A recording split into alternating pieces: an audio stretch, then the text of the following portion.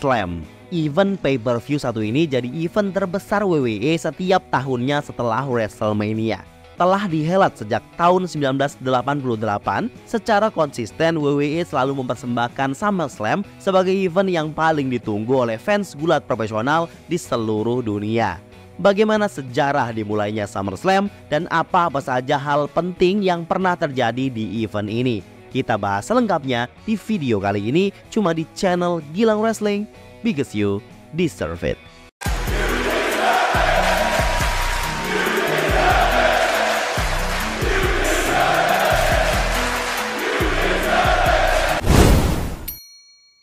Event spesial musim panas dari WWE ini merupakan event tahunan kedua terbesar yang WWE selenggarakan.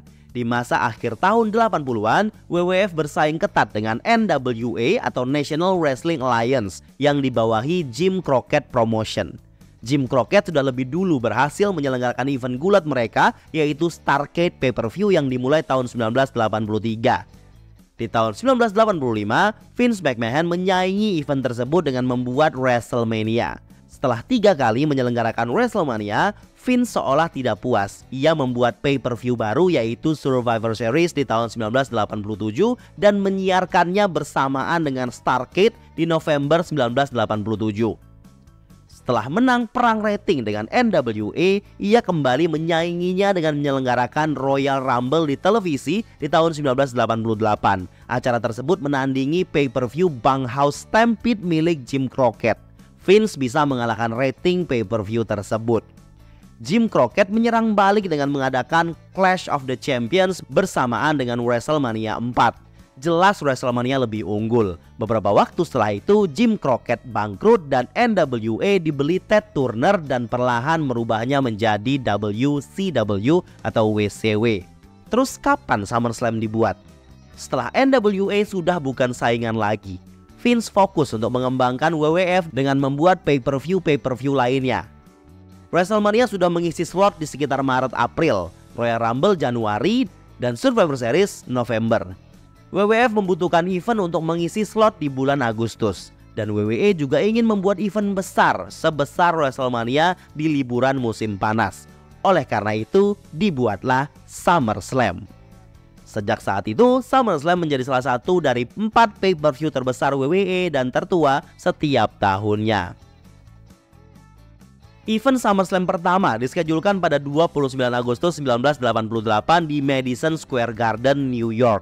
Dengan mudah, event tersebut menjadi salah satu event paling menguntungkan saat itu. Beberapa hal penting yang terjadi di acara tersebut di antaranya Ultimate Warrior yang menang Intercontinental Title dengan hanya 30 detik mengalahkan Honky Tonk Man.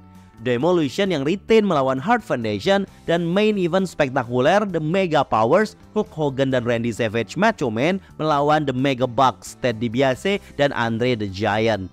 Sebenarnya di event tersebut, Vince berencana untuk mendatangkan bintang besar NWA saat itu yaitu Ric Flair untuk bertanding di main event SummerSlam. Tetapi Ric Flair menolaknya.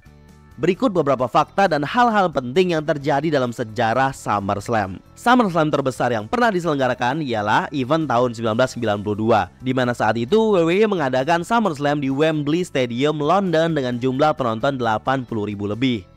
SummerSlam dengan jumlah penonton paling sedikit ialah di tahun 2014. Saat itu diselenggarakan di Staples Center Los Angeles dengan jumlah penonton hanya 14 ribuan. Tentunya ini di luar masa pandemi yang diselenggarakan di ruangan tertutup Thunderdome.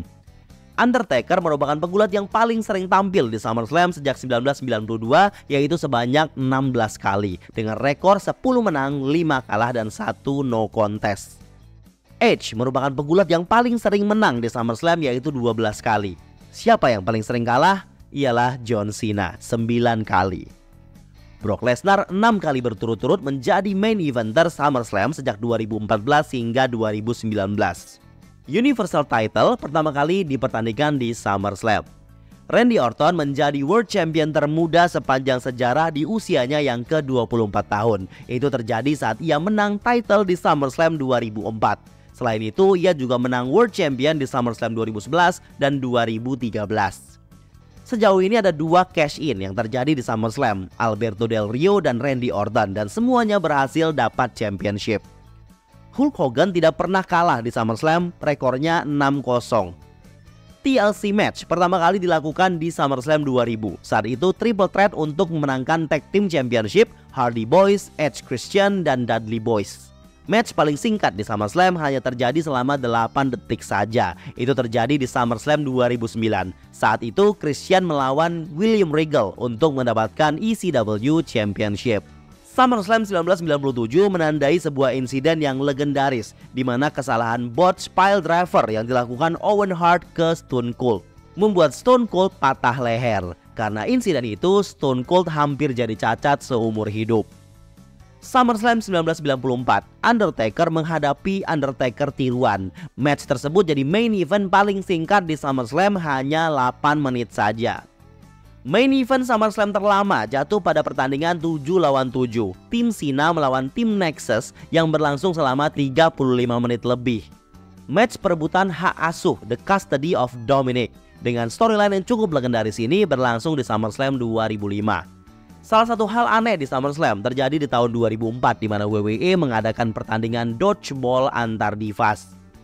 Leather match legendaris dengan kualitas yang fantastis terjadi di SummerSlam 1995 di mana Shawn Michaels bertanding melawan Razor Ramon untuk memperebutkan Intercontinental. Sampai sekarang match ini disebut-sebut sebagai match leather terbaik sepanjang masa.